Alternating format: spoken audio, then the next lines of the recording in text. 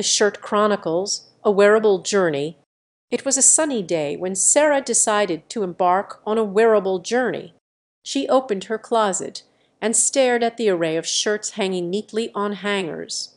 There were shirts made of different materials like cotton, polyester, silk, and linen.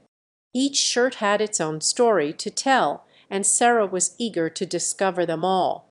She reached for a soft cotton shirt, feeling the smooth fabric between her fingers. Cotton was one of her favorite materials because it was breathable and comfortable to wear. Sarah knew that cotton came from the cotton plant, which grew in warm climates. She admired the versatility of cotton shirts, perfect for any occasion. Next, Sarah picked up a polyester shirt. Polyester was a man-made material known for its durability and wrinkle resistance.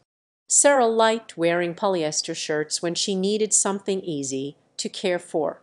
She knew that polyester was made from synthetic fibers, which were created in a factory instead of being grown naturally. Moving on, Sarah chose a silk shirt. Silk was a luxurious material that felt smooth and cool against her skin. Sarah knew that silk came from silkworms, which spun delicate threads to create the fabric. She loved the elegant drape of silk shirts, perfect for dressing up for special occasions. Lastly, Sarah selected a linen shirt. Linen was a breathable and lightweight material that was perfect for hot weather. Sarah liked the natural texture of linen shirts, giving her a relaxed and casual look. She knew that linen was made from the flax plant, which produced strong fibers used to weave the fabric. As Sarah packed her shirts for her journey, she marveled at the different materials that made up her clothing. Each shirt had its own unique qualities and characteristics, reflecting the diverse world of wearable fashion. Sarah was excited to see where her journey would take her, with her shirts as her trusted companions.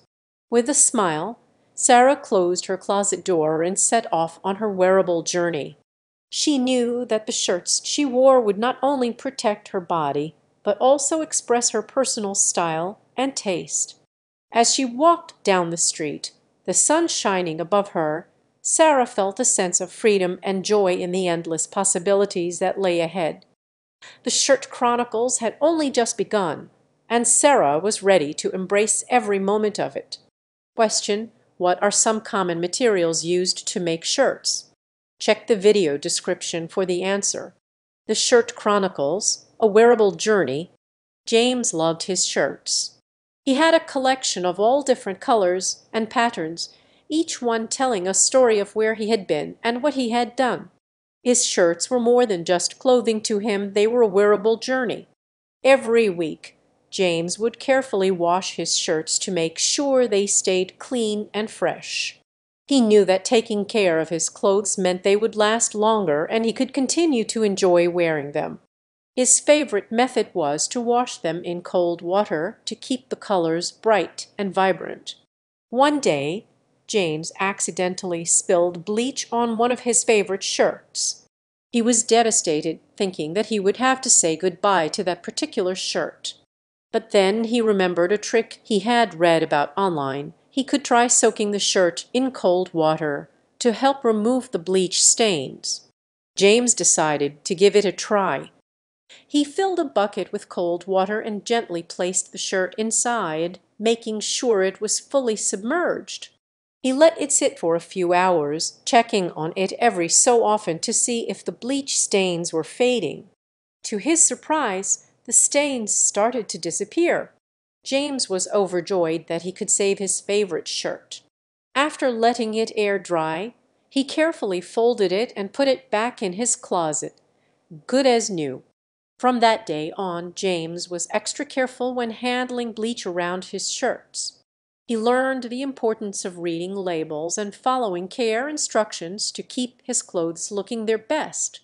As James continued on his wearable journey, he made sure to wash his shirts in cold water and air dry them to ensure they stayed in top condition. He enjoyed taking care of his clothes and knew that by doing so he could continue to create new memories in each shirt he wore.